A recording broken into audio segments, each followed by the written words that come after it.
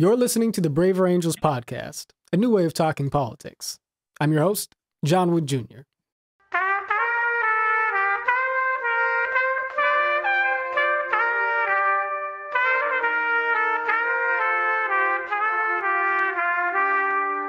Okay, so I'm very excited about today's episode of the Braver Angels podcast. I am joined by two extraordinary, empathetic, compassionate, brilliant, and wonderful actresses. Um, I'll have to ask them how they feel about that term because sometimes when I say actress, I get correct and say, no, no, it's actors for everyone. And so that's a good way of segueing into the fact that this is a political conversation. Uh, but nevertheless, I am joined today by Miss Lydia Cornell and Roxanne Beckford Hoge. And uh, Roxanne is a, uh, just go through our quick little bios here. Uh, Roxanne is a former Republican Party candidate for the California State Assembly, representing, seeking to represent District 46. She's also, of course, an actress who was born in Kingston, Jamaica. Uh, she is known in part for her work in A Different World, Bewitched, Something's Gotta Give, and Father of the Bride 2. Uh, Lydia Cornell, on the other hand, is a woman and children's rights activist, author, public speaker, and actress, of course. She is best known for her role as Sarah Rush on ABC's Too Close for Comfort and is a People's Choice Award winner. Her great great grandmother was Harriet Beecher Stowe. She has been invited to contribute her writings to the International Museum of Peace, which houses letters from Nobel laureate, uh, from Nobel Peace Prize laureates.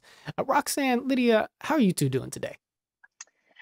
Pretty good. So happy to be here and finally meet you. I really admire Braver, Braver Angels, and it used to be Better Angels. I joined you a long time ago, mm. but I really admire what you're doing. Mm. Thank you so Important much. Stuff. Thank you so much. And I'm always happy to be with you, John, but super flattered um, to know that Lydia is related to Harriet Beecher Stowe. That's like that's like big time now. So. Thank you. Yeah, right. she's my hero, one of my female heroes. Yeah, uh, that is pretty yeah. pretty, pretty amazing amazing thing. So yeah, well maybe you can uh, tell us a little bit more about that. Um, but just to just to get us started here. Okay, so first of all, uh, what what is the proper uh, terminology? Should I be saying actress? Should I be no. saying actor? Okay. I wrote a whole comedy routine on this because I, mm-hmm. I, turn every tragedy into comedy. That's how okay. I deal with life. It's through humor. Mm. But um, you don't call a lawyer a lawyeress or a doctor a doctress or an mm. account accountant an accountress. So mm. actor, you know, why it, the only words with the tress ending are waitress, mistress, and adulteress. Mm. That's a joke. That's supposed to be funny.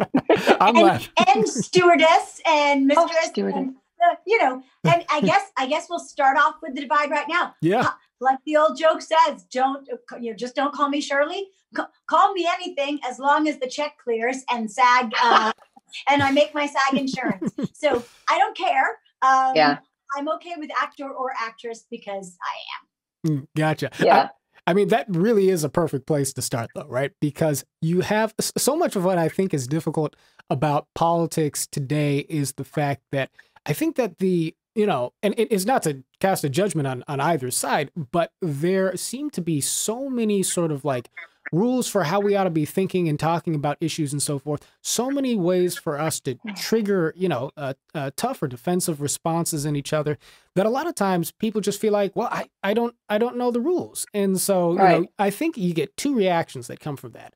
One is sort of like defensiveness or aggressiveness, right? Where we can be right. very offended and want to attack people, or people say, I'm not going to play, I'm not going to participate. If I vote, I'm not going to tell anybody who I voted for. Let me get as far away from these sorts of conversations as I can, which is also not good because we got to talk, right?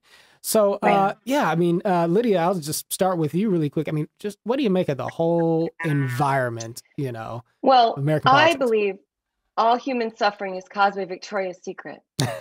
so I actually believe it's, it's, rooted in advertising years ago in the 80s. I, I was a sex symbol on TV mm. and they chose me and they put me in bikini posters on, on the network. And I had to listen, I got in trouble for eating starch. In those days, they called it starch. I oh, bought yeah. a, a, taco, a burrito, and a bag of M&Ms on the food truck. We were at KTLA Studios filming Too Close for Comfort in the beginning. And I was rail thin, but the producer saw me and he says, "Don't you're a sex symbol. You can't eat starch." And I, the food went flying in the air, and I went crying to my dressing room.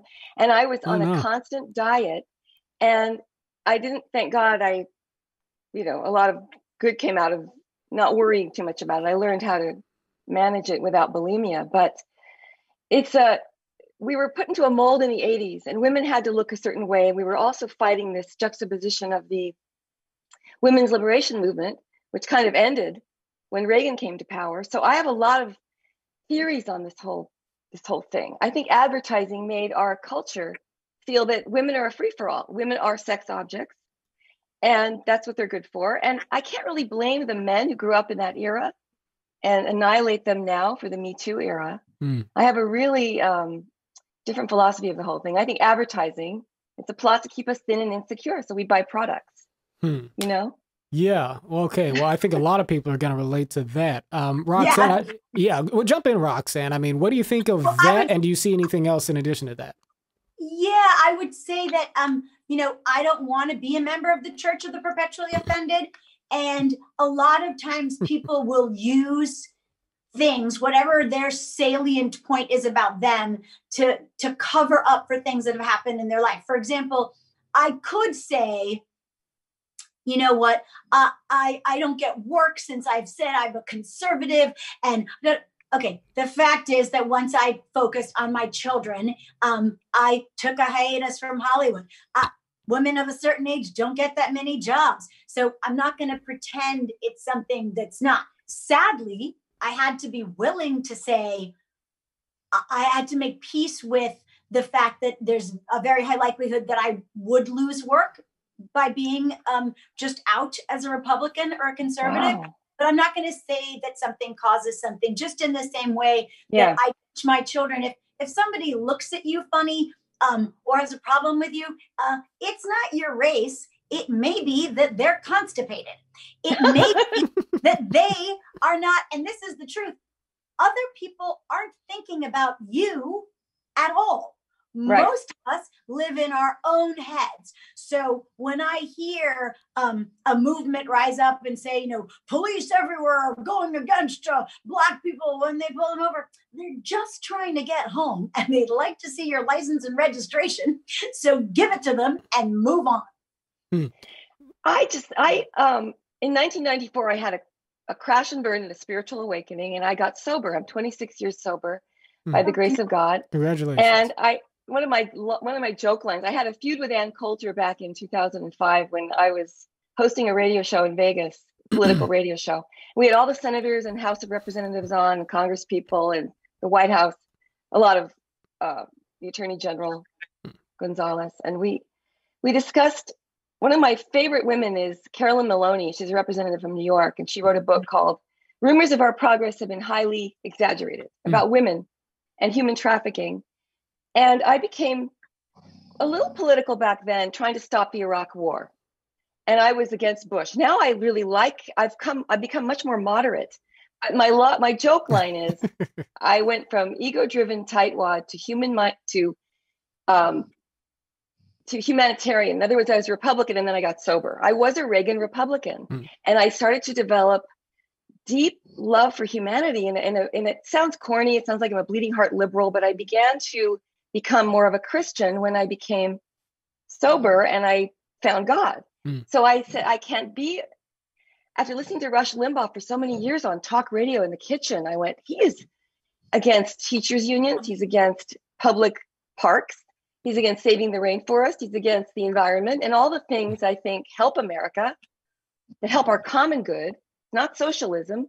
It's our taxes should go for the things that help the common good. Mm. Fire department, uh, you know, military, police, public parks, clean water, safe highways, schools, libraries.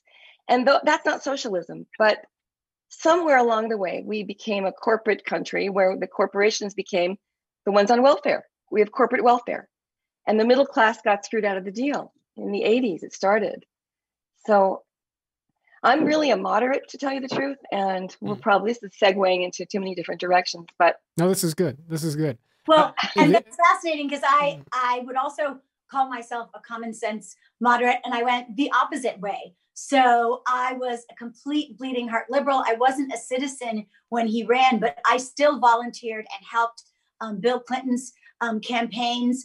Um, I remember being in the Barbara Boxer campaign office when I first moved to California. And then I, a couple things happened. Um, I started paying attention to um, the debates in in 2000 i remember and al gore was was all over the place and, and changing personalities like suits. And george uh, george w. Bush made some sense to me as well. And then i put my son in public school. And all of a sudden the bromides that i had heard came crashing down around me. They didn't need more money they needed to act like education was important and the parents who are there need to act like education is important. And it's funny because i listened to rush limbaugh. Um, he was just on in my kitchen while i was doing my dishes because my dishwasher's been broken for two weeks. Oh great that's okay. I'm sure the new one will show up one day. And no one's against that. The, the, I will agree with you, Lydia, that crony capitalism is a horrible thing. I mean, I remember you know, when movie villains went from guys who wanted to rule the world to all of a sudden this amorphous corporate faceless uh, mm-hmm. CEO, it's kind of there. Like those guys uh, are way scarier. What Google knows about you and I is way, and what they can do with that information is way scarier than anything the US government could have dreamed up. But I do I think mm. the classic distinction between liberal and conservative is what you think the government should do. And I'm pretty sure Rush Limbaugh also likes clean air and clean water and parks and public libraries, as do I. In fact, coming from Jamaica um, and being a total nerd, mm-hmm. I love libraries. They're, they were my saving grace as a kid. You could get any book, get any information before mm-hmm. Google. You go to see the reference librarian. And now in Los Angeles, where I live, you can't go to a public I know because they smell of pee and oh. human excrement because well, okay, we no longer have a government that works in Los Angeles. but Angeles. If. Reagan hadn't taken the mentally ill people off the streets and closed the state institutions, which helped when capitalism became what I, I know Reagan and Clinton's responsible too for NAFTA, but when Reagan outsourced jobs, manufacturing, and, and fought the unions, it stopped the American labor from being able to make a living wage. And women had to go to work too, more than ever before. And then childcare at home, it became we became a neurotic nation.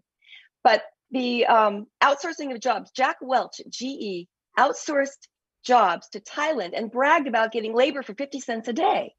That is not American. That's greed. That's the greed era of the 80s. So I came up in that era and I was, you know, I was so spoiled. Tom Hanks and I went on a trip across America to Mount Rushmore and all across to all the ABC affiliates doing a, a tour. He was on a show called Bosom Buddies on ABC, and I was on Too Close for Comfort. And I was so spoiled. I wouldn't fly coach. I was like wearing my sunglasses, eating bonbons and a mink coat in the limousine, going, "We can't, I, I can't go coach." Mm. I was such a, a asshole, you know, in those days. And I remember having just such a greedy, narcissistic mentality and I feel like I really had a great leveling happen to me when I woke up and I realized the worst thing happening in America right now is media distorting the truth.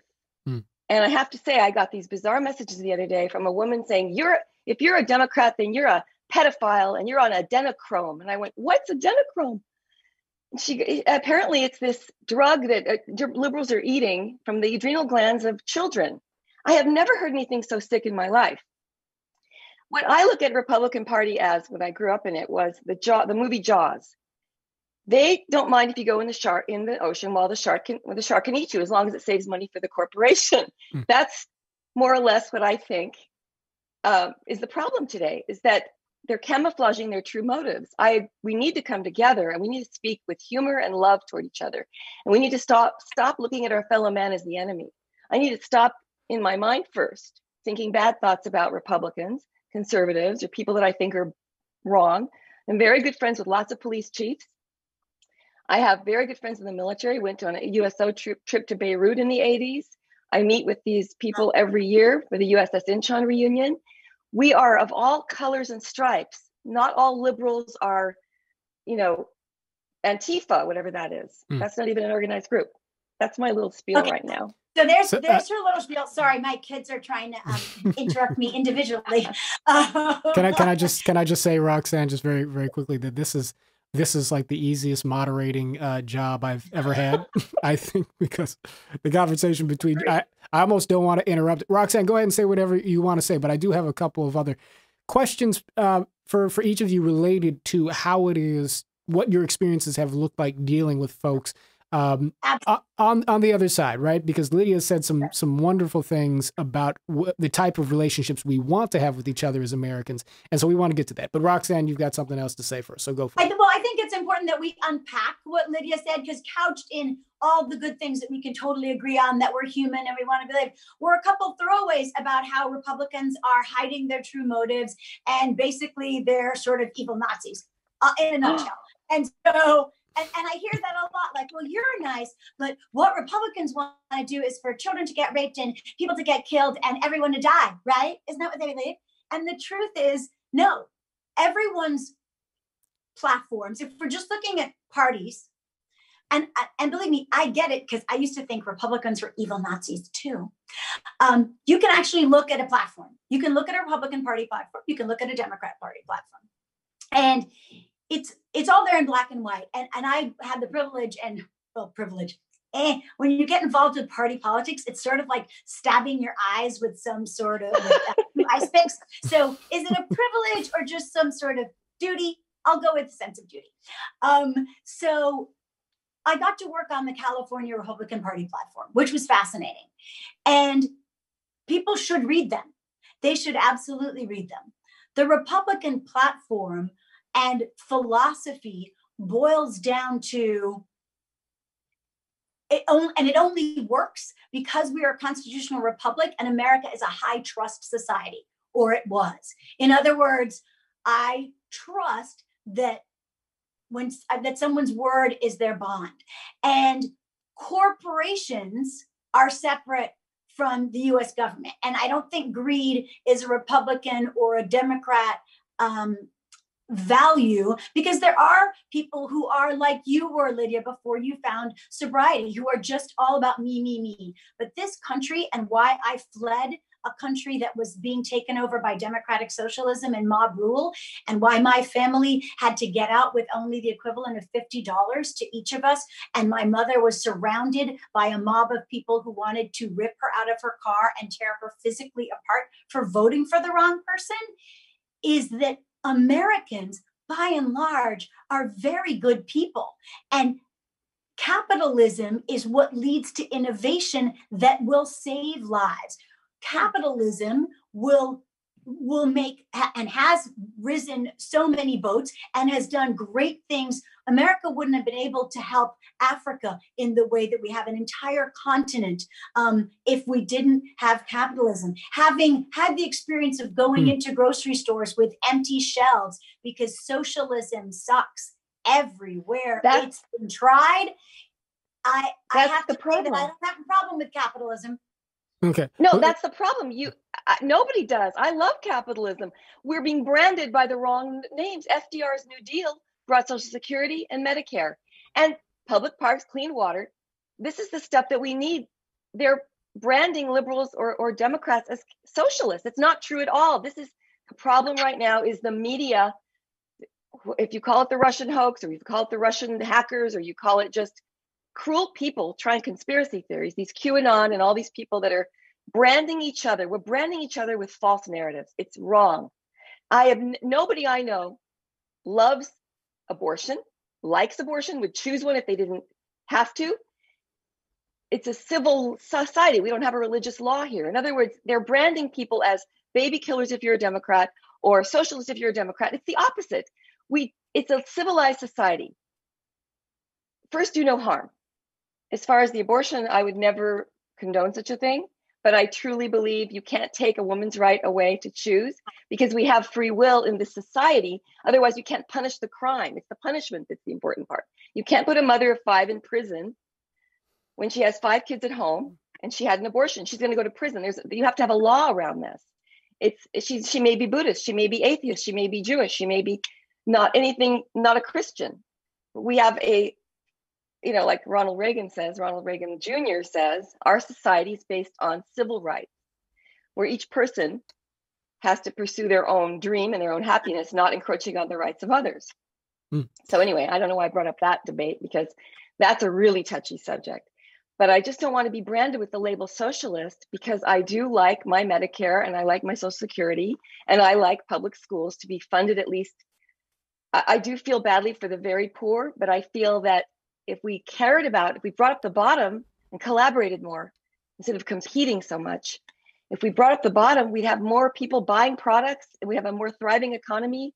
It's not giving out handouts, it's providing real jobs and maybe putting back shop in schools, cooking classes, teaching people to make a living with you know there was somebody who started a program like that in the government recently i think even ivanka trump thought of it well mike, um, mike rowe has done incredible incredible uh, work around the dignity of, of work and i think the other thing you said that i think can't go unaddressed because again reagan he's yucky as as thought i and the lanterman act those those things were done on because of the ACLU. In other words, there's there's other forces working that then things happen and presidents react to them. So yeah. I think we have to look at the here and now and and not so much the branding, but in the practical effects. For example, California, for all intents and purposes, and Los Angeles County, where I am, um, in particular, is 98% run by Democrats. And when people have a problem with unions, I, it, it, the language matters because what happens between the left and the right is that we're talking about different things. So when yeah. I have problem with unions, I have a problem with public sector unions. Right. I, I, and those huge with, pensions. With, yeah. With illegal immigration, people conflate and say that's a problem with immigration. When we talk about um, any other issue. The fact is that we have to be talking about the same thing. Well, so, so, Reagan so, didn't have a problem with unions. He was a SAG member, just like I am, just mm, like you are. Right. The problem is public sector unions because what it's a it's this vicious circle where they give money, and in California, it's two billion dollars every election cycle to a party to politicians who have no real opposition, who vote them unending pensions at 90, 80% of their salaries, and no one has to pay the piper. That's a problem. Yeah, that's Rox- a problem. Roxanne, right. I, I, appreciate the um, you drawing attention to the fact that a lot of times we think we're having a conversation about one thing and maybe we're defining terms differently, right? Uh, which makes it hard for us to arrive at some some clarity. A couple of things stuck out to me as you guys were going back and forth. I remember in the uh, in the Tea Party and Occupy Wall Street days, which of course was you know so so far in the distant past now that none of us can can can none of us can barely remember it. Um, we weren't but I I used to. Homes. I, I know, right? You do you remember handshakes? I you know it's it's kind of faint in my memory somewhere. you know, hugs. Yeah, you know. Um, no, it's, God, it really is kind of like we're in sort of like a. It, there's so many story, you know, dystopian storyline jokes we could make here. I shouldn't even go that way. But um, but I was always struck by the fact that when I listened to you know protesters at the Tea Party, there was so oftentimes this this uh, uh claim made that you know uh, we've got a problem with big businesses because they've sold out to the government whereas within the occupy wall street crowd and for a lot of activists on the left the claim was we've got a problem with government because they've sold out to big business and in the middle yeah. of that it seemed clear to me that well wait a second uh, you know you've got these major groups of Americans who are at war with each other because they think they have nothing in common. And yet, if you sort of drill down to, to sort of a fundamental layer, it seems clear that there's actually sort of, you know, a shared kind of shape to the concerns that a lot of folks that a lot of folks have, right? But because I think we are so kind of ideologically pitted against each other, it's hard to arrive at that point of clarity. It's not to say that well, the differences of opinions aren't real, right? but it does seem yeah. like we can't get to the common ground because right. the conversation doesn't allow it. So yeah, we, we are really we really want the same exact things, the same exact things. Um, nobody wants anarchy and looters and arsonists and rioters. Those should be prosecuted to the full extent of the law. They are criminals. The, uh, a friend of mine brought up the murder of Cannon Hinnant, the poor little boy that was killed by a neighbor. He was murdered by a murderer. No matter what color or tribe, that's a murderer. We have to stop it saying been, it, it would have well, if races were reversed, it would have been breaking news, and the races would have been in the headline. But Roxanne, let, let, no, Lydia Roxanne, let, let Lydia finish her let Lydia finish her point. Let Roxanne, me, let me, we'll let me just in. start with one. Let me go back to one initial point of view. I believe everything's economic, and I believe slavery is our original sin, and we do have to deal with it now. We're dealing with it now piecemeal rather than at the cause. And if, if Trump or any leader would sit down and just say, I hear you, I hear your pain, gosh, and list the names of the people killed. 164 Black unarmed people were killed in the first eight months of 2020. And, and I remember Walter Scott, a father, running from his car because he owed child support payments in 2016, and a cop shot him in the back. It's like, this is a true problem. And I love police. Not all of them are like that at all. It's the training that needs to be redone, re- de escalation. But the Republican Party isn't all wrong, of course. I love their work is valuable. But I remember when John McCain, and I love John McCain, by the way, John McCain and George Bush vetoed the CHIPS Act for $11 million to, to help 11 million children below the poverty line to get health insurance. I was flabbergasted. This was in 2005 or six, and they voted against it. If you can't create, jo- if jobs aren't here anymore, and we only have a consumer society, we've outsourced the, the labor and the manufacturing, all we have are car salesmen, some McDonald's employees. Mm-hmm. It's hard to make a living to even have a sustainable income. And and and we don't have any kind of rent control really in LA where the you know your house went up to a million dollars. It's almost impossible to live. We just need to help a little bit to lift the bottom up.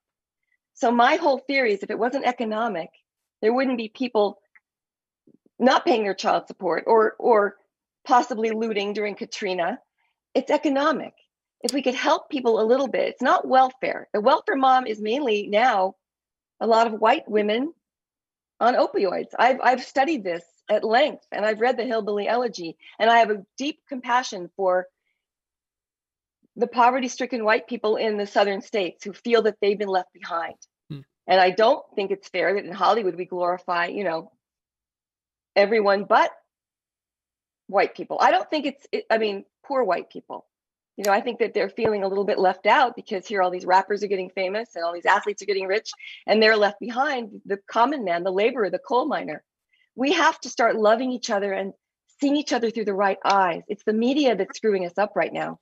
Being branded, I don't brand any Republican a white nationalist or white supremacist, but that is the high, for some bizarre reason, Trump gave them a platform to feel that it's safe to talk about this stuff and to march with Nazi flags in Charlottesville and kill a woman with a car, Heather Heyer. I don't think we've ever seen that. I never thought I'd see a Nazi flag on American soil in my lifetime. Hmm. Okay, I've got about 17 different questions that I could ask based off of the exchange, based um, off the exchange that we just had. So Ro- much to unpack. Yeah, yeah. yeah understood, okay. Roxanne. Understood. And and and uh, let me ask you a question, Roxanne. And I imagine that you will be able to weave your way over to unpacking some of what Lydia just said in this context too. Um, but you were a candidate for office, and folks, even if I hadn't mentioned that up top, might have assumed that because uh, obviously you uh, uh are uh, ammunition is loaded, and you know how to how to rattle off uh, rattle off the arguments in, in powerful fashion, right? But what I'm curious about is when you were campaigning for office, I'm guessing your, your district was predominantly left leaning, predominantly uh, uh, Democratic. In fact, I, I know your district. Um, eh, what what were the um, were there sort of areas of of common ground that you were able to sort of identify with your constituents that they were surprised to, particularly on the left, that they were surprised to encounter when they actually got to know you uh, as a human being, as a neighbor, as a member of the community? Um, and whether yes or no, uh, do you have a sense of what might make it difficult for you as a candidate and as a Republican to arrive at that place of communication with folks on the other side? Well, first and foremost, the reason I can hold my own, I hope, in any sort of argument because I have four children ranging in age from 23 to 15 year old twins. So um, do I don't have high approval ratings in my own house. so um, I have to be I have to be loaded for bear every morning right. and and ready to do battle. Mm. So, uh, so that's where I get my training. And I did um, run for hmm. office. I actually, it's a local office, and I was with a lot of people I knew. Sadly, I lost more um, acquaintances i'll call them acquaintances but I had friend dear friends um, say pretty hurtful nasty things to me. Um, how could you they didn't uh, a lot of times they didn't know that they knew any republicans. My kids actually attend a religious school here and i'm the den mother of a secret society of about a hundred plus parents who are scared even at a well-heeled private school to come out and and so while lydia is is kind and wouldn't call names um, to any of her Republican friends. There are a lot of people who do, and that's a sad, sad statement. I would say that what I think is most shocking for people, and especially when they decide they're going to have a conversation about Donald Trump because he's the evil one and this is new. Um, I remember, I'm old enough to remember when Mitt Romney was a Nazi and also when mm-hmm. George Bush was a Nazi. Oh, no. So I kind of remember those days pretty clearly.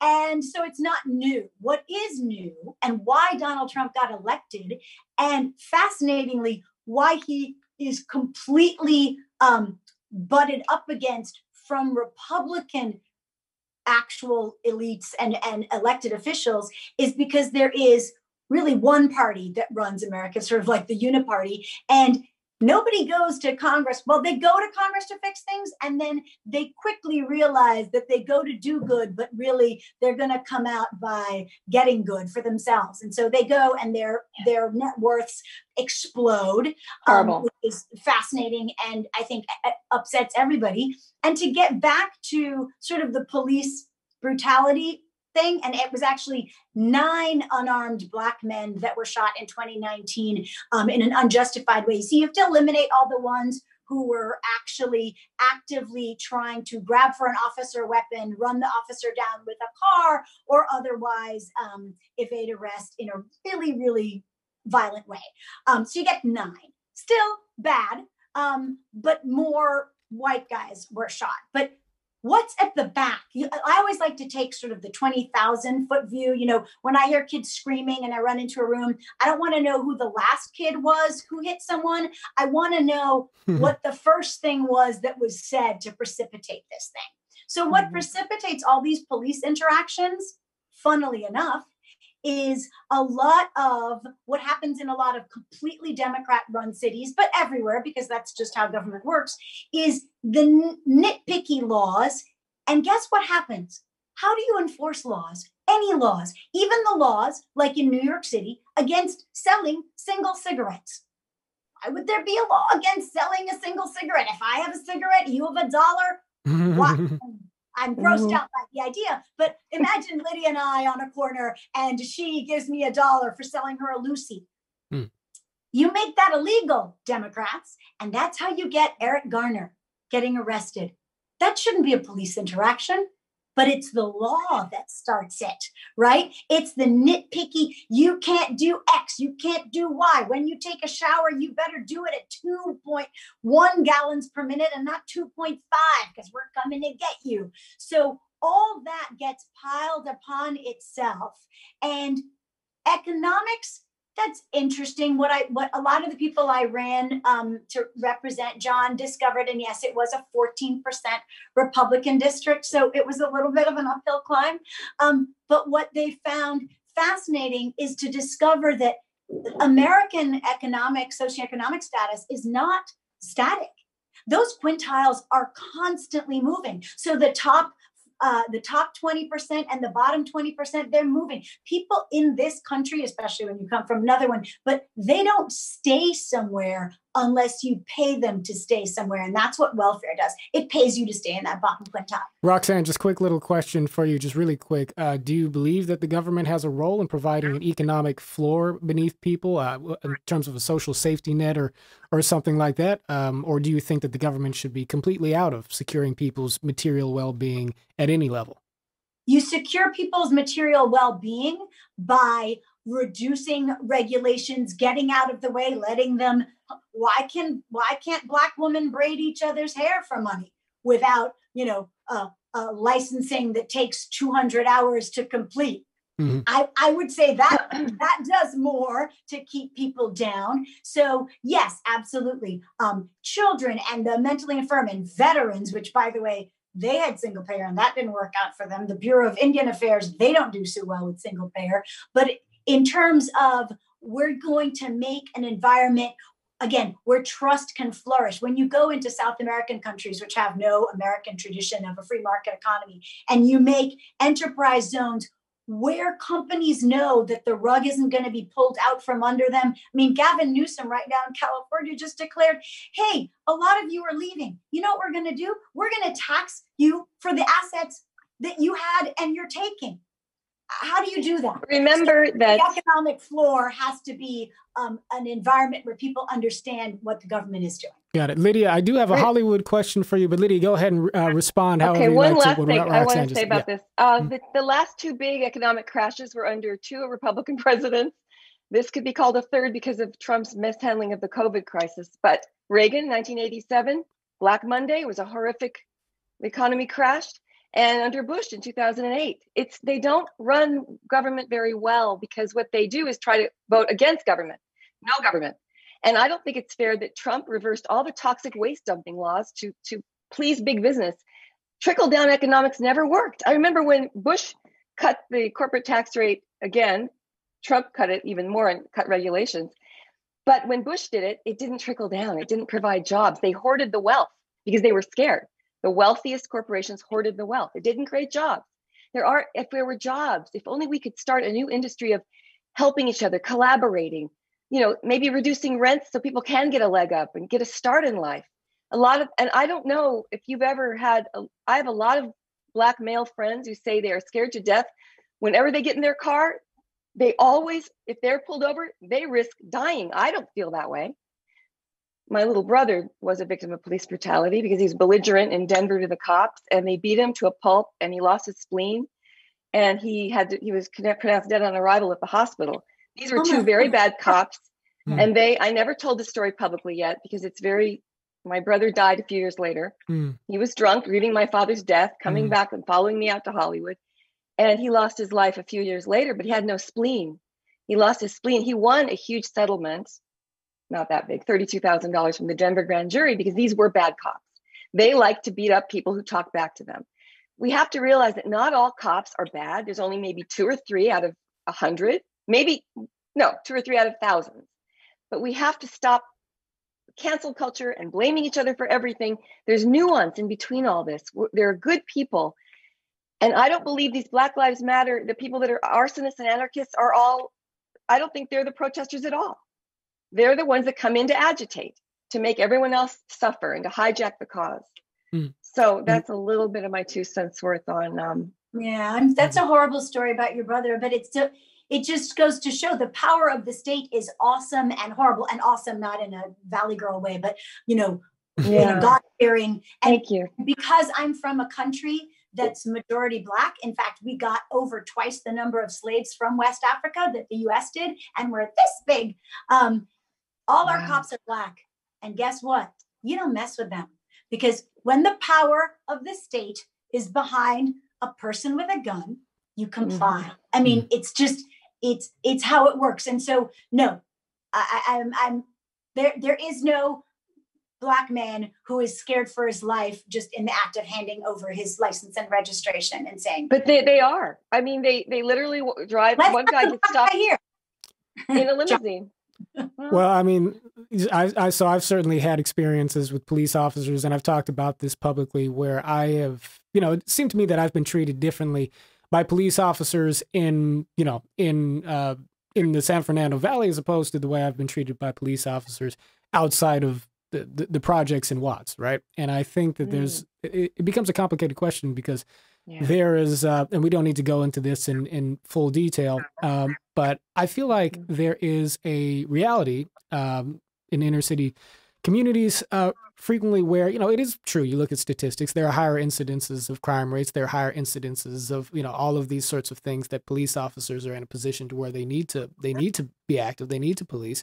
But because of that you also have a tendency to profile you have a tendency to stereotype perhaps on the part of law enforcement which catches a, perhaps a majority of innocent people uh, in its mm. in its net.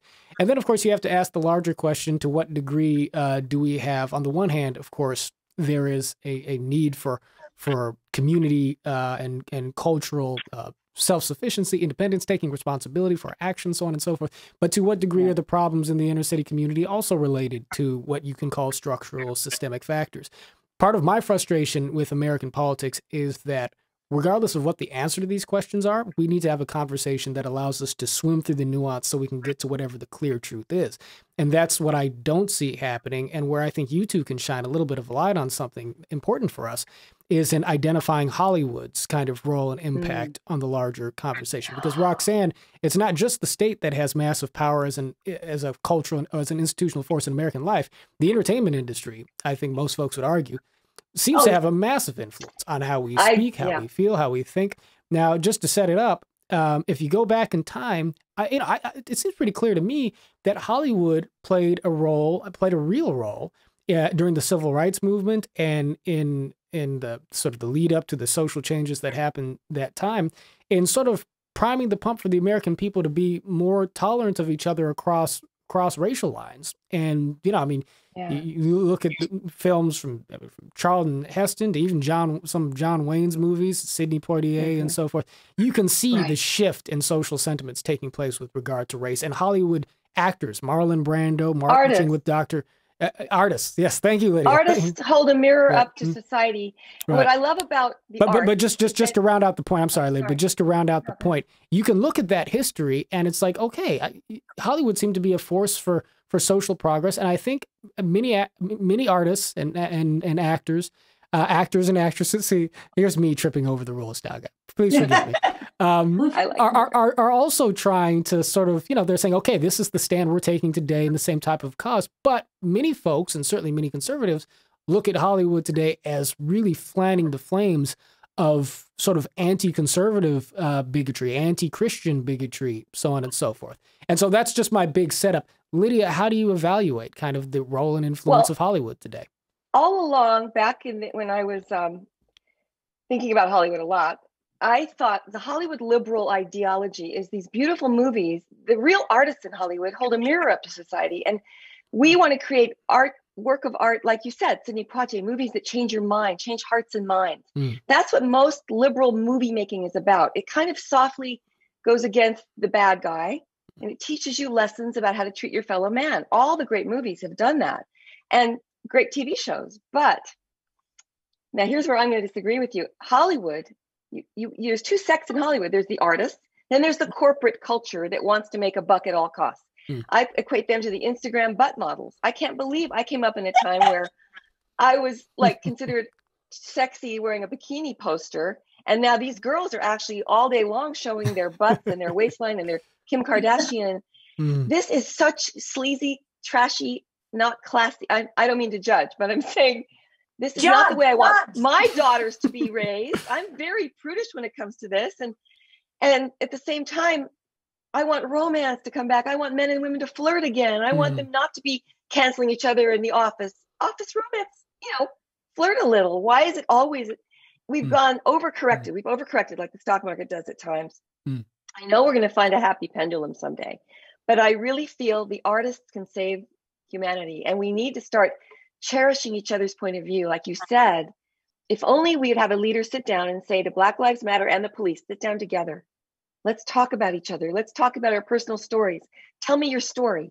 We can do it through storytelling, but the leader should be doing this. He should be saying, God, I never thought about the fact that this man was shot in the back or Jacob Blake. That must have been a horrible feeling to have your loved one killed, even if he had a domestic violence record. That doesn't, he doesn't deserve to be shot and then we to show the humanity of the person who was shot show his story.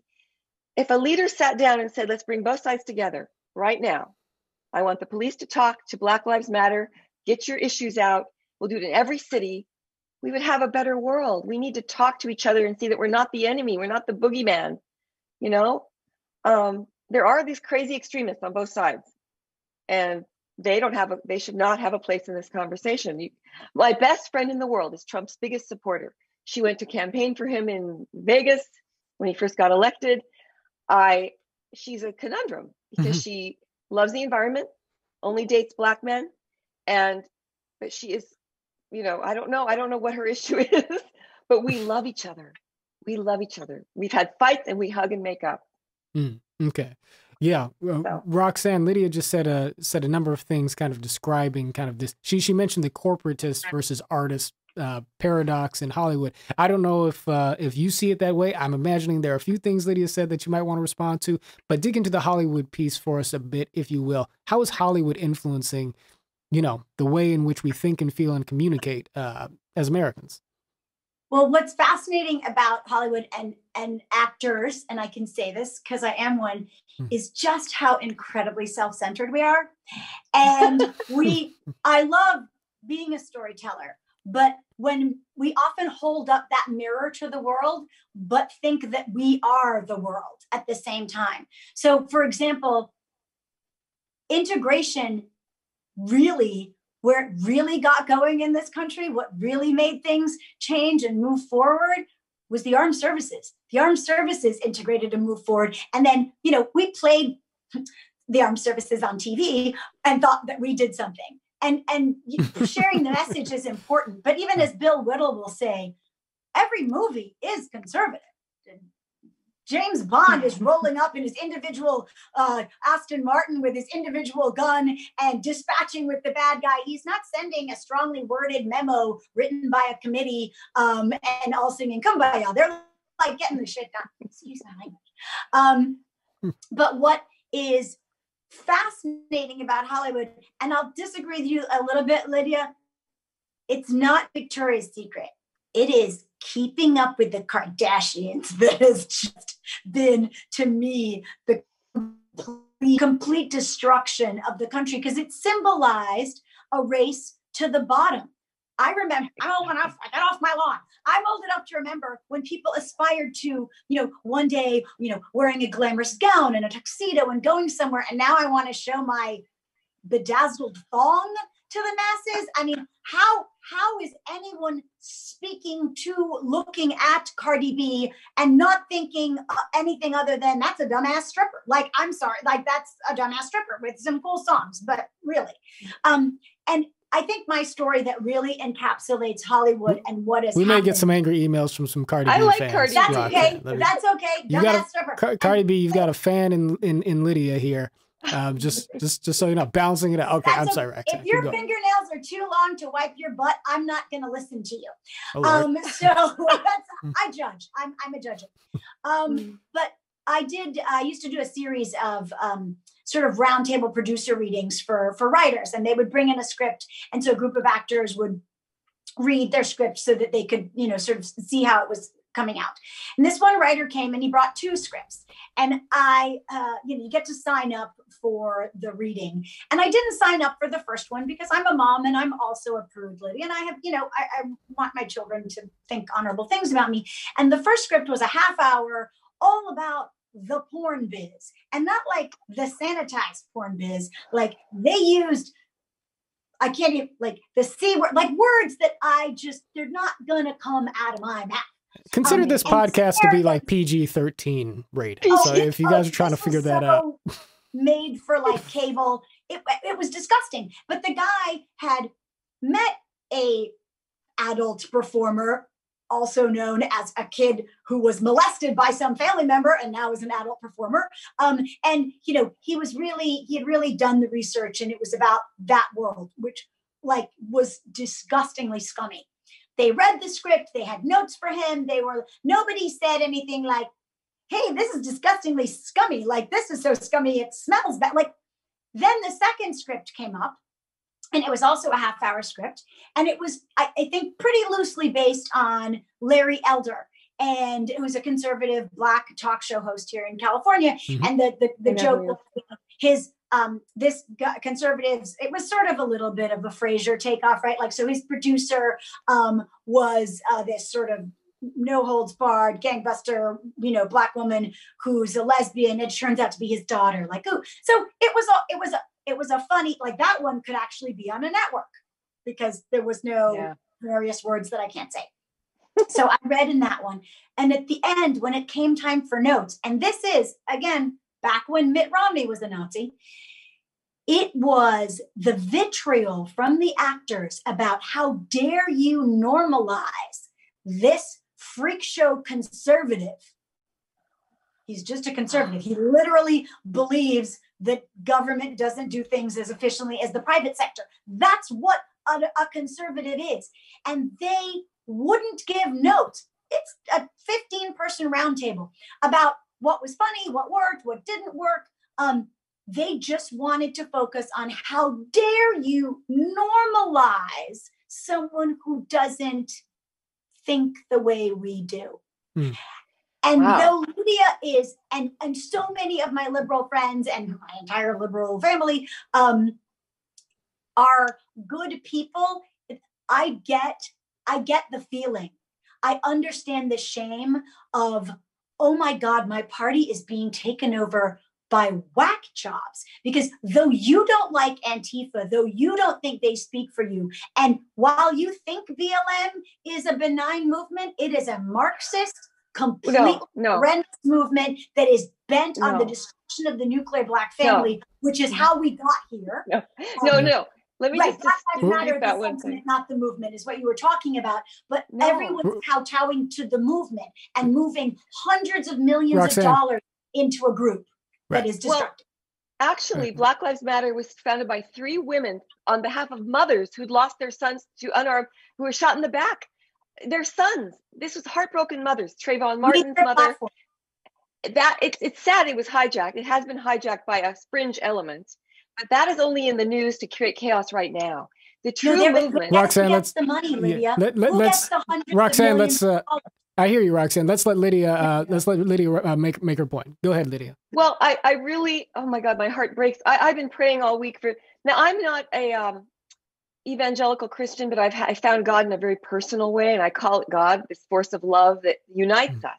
Yeah. That we need to focus on our our. We need to find common ground and I really, it's, stressful for me around Trump because every day I, I, and I shouldn't do this, but my his caregiver didn't wear a mask on the Fourth of July weekend. She was a member of a Filipino Trump support group, and they're immigrants who are very strong and they follow the leader. And she brought 14 days to the day. She came down with COVID. She was coughing in the house. My stepfather had dementia. He was fine a few days earlier. He died three days later. And then my mother was tested positive for COVID. My mother finally tested negative a month later, and the whole house cleared out. We lost our entire caregiving team, everything, the financial support of my mother. We're cobbling it together again. But I have to say, there's a lot of lies going around, and a lot of like, we're fighting each other and we're not listening to each other. Black Lives Matter started as a group of women mothers on behalf of their sons being killed for no reason driving while black, being black, trigger happy trigger happy cops that have been trained to shoot. I've seen them shoot white people also. It's it's it's almost like the training is to kill rather than to just to to protect and serve. We should soften our our rhetoric. We should come down to a level where we can see each other clearly. I agree. Black Lives Matter has been hijacked by this fringe element. And Trump has been hijacked by an extreme right wing element. And the only real domestic terror organization labeled as domestic terror is white supremacists. There are many white supremacist groups, including KKK. This has been a chronic problem in America. If you look at the Coalition to Stop Gun Violence since 2008, there are over 1,700 right wing hate crimes, including provoked by media. Glenn Beck once yelled, Obama's going to get your guns. He said it on national TV Obama's coming to get your guns. A young man in Philadelphia stood by his front door with all his guns his mother called the cops. She was scared. She hot, shot the cops as soon as they entered. This has been a, a, a very bad system of provocation. We're doing it to each other through the media or through our own social media. And um, regarding Hollywood, I, I kind of agree with you. I don't even, I never allowed the F word in my house. I feel like I'm an anomaly. I agree with you on that experience you had that's horrifying to me. I would definitely want to see the other show. I would like to see two people work out their differences and see another person profiled. And I'm sorry you've been ostracized in Hollywood because of politics.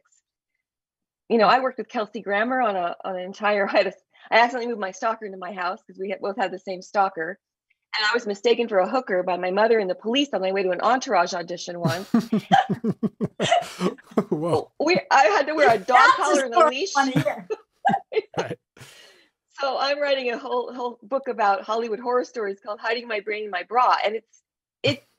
I feel like a prude in Hollywood, and I agree with you. The entertainment industry has gone too far, and we're also too obsessed with violence.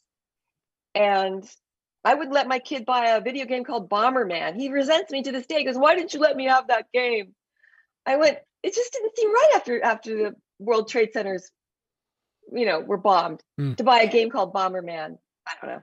Mm. I think Lydia, I want to say uh, we're so sorry about your stepfather. And there's look, there's in yeah, a country of 350 million people, there are jerks, there are idiots, there are incorrigible people they're mentally unstable people there's a lot of mentally unstable people and why i interrupted and pushed back about blm is because it doesn't matter that it was started by three women no matter how mm. well their intention they were and i'm not quite sure about that what it is now is a marxist front group funneling huge amounts of money into the election into the destruction of america and so that's what matters now and why we got Trump. And what I'll, I'll say again, he, the most important thing to know is, do you know how many white supremacists that because they track them are in America? Are what? And, and you got to count all the you got to count all the like ATF infiltrators, whatever. So at last count, there were about 8,000 people who identify as white supremacists in the United States of America. Who would admit it? Who would admit it? From Timothy no, McVeigh on, survivalist. This is eight. Okay, well, you're saying that it's been encouraged and right so people admit people admit all sorts of things 10% of americans think elvis is still alive so you got to remember that right mm-hmm. but what's fascinating i saw him the other day convention know? of the bronies got 12,000 attendees. Do you know what bronies are? They are adult men usually who dress up as my little ponies. They're like a subsection of furries. They're very furries are people, weird. Yes. They're, okay they're, they're now you're gonna get mail. But the fact is, there are, there are, of course, there are nutballs, but it shouldn't be called crazy to do the things that President Trump is doing, not talking about doing, which is reducing regulation, um, increasing a, a public private partnership, the likes of which we've never seen to get out testing and to, to create oh, uh, no. for a vaccine. I mean, those things, and not to mention Mideast peace. In other words, we have to, it is incumbent on us to realize that politicians by and large, and I tried to be one, and I'm working on a book called Lessons from a Loser hmm. um, about not running and not winning, but they don't want to solve problems. Why why do people why are they in Congress or in the Senate for 30, yeah. 40, 50 years? Like they literally don't want to solve problems. And Wait, when you that's horrifying to me. Hmm.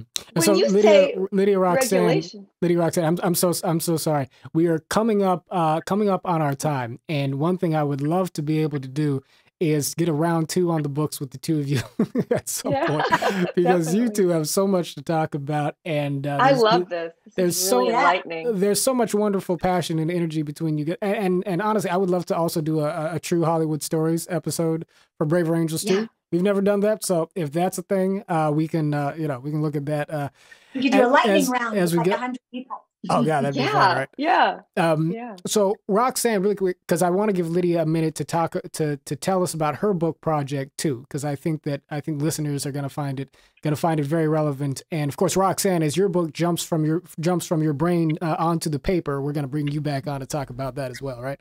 Um, but um, Roxanne, do you have uh, any sort of closing wisdom or advice to folks listening to this podcast who are left, right, and center, right? Um, in terms of how we can go about sort of recovering our ability to uh, to communicate with each other. And I know Lydia that you're writing about this, so I'll get your take next. But Roxanne, do you have some closing words to offer there? I would just say the most important gift we have is that of perspective. Hmm. Hitler was Hitler. Pol Pot was Pol Pot. Um, Mao was Mao. I mean, what we have in America is not that. We do not have fascism. We have a president that some people don't like. And we will always have a president that about half the people don't like and don't vote for. And we just have to remember that we're all on the same team. The United States of America is the greatest country that God has ever created. And people lash together empty milk cartons to go across shark infested waters to get here. Let's just all be friends. Hard, Beautiful. hard to imagine that Roxanne didn't manage to win the first time being able to give a speech like that. Roxanne, are you gonna yeah, try? Really. Are you gonna try it again, Roxanne?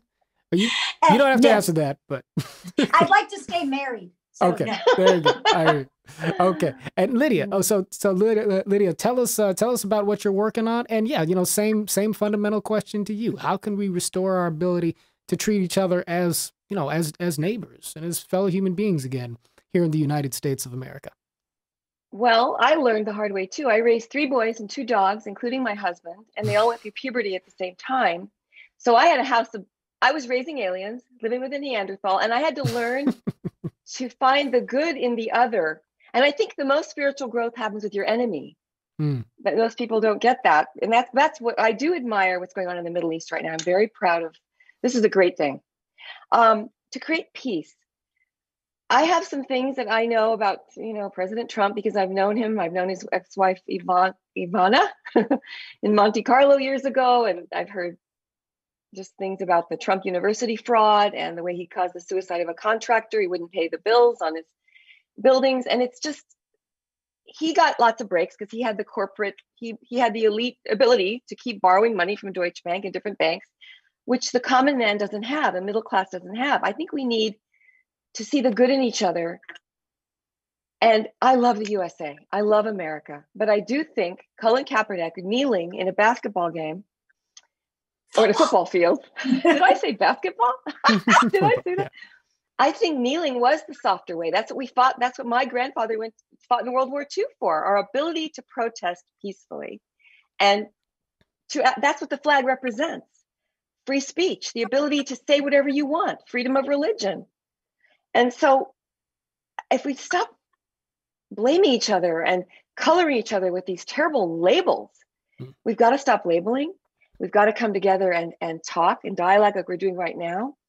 And I really have this beautiful hope. And I had this thing in my marriage vows in the presence of true love, anything unlike love comes up to be seen first to be healed. It's like a volcano or a pimple. It, cre- it has to explode to create new land we are creating new land right now mm. and it may be ugly for a while but we will we're not going to have a french revolution like the miserables we're going to have a great peace at the end of all this and we all have to stop seeing our fellow man as the enemy. Mm. so god bless america. Indeed. Uh, so braver angels right now is in uh, we're in the middle of our uh, braver angels 2020 campaign and we're focused on this idea that the american people need to be able to fight right right? That we need to be able to completely and authentically engage each other over our differences while still being able to move from a spirit of goodwill for each other as fellow Americans and as neighbors. And I think that the two of you managed to do that in spectacular conversation, in spectacular fashion in this conversation. And uh, I'm sure that we'll all be looking forward to more. So, Roxanne Beckford Hoge, Lydia Cornell, thank you both so much for being here with us today. And uh, really, truly a pleasure. Thank, you, you so much. Thank uh, you, Lydia. Thank you, Roxanne. I love meeting you. I can't wait to have more of these conversations. And thank you, John. All great work you're doing. 100%. And so, for, for folks listening, if you are interested in the project of building out the connections and the bonds and the community that is the relationships between the American people. If you see this as work that is worth supporting and being involved in, join us as a member. Braver Angels is a membership organization. We have local communities across the country uh, at braverangels.org. Like, share, and subscribe to this podcast. Uh, and as always, we are building a house united. Until next time, thank you so much.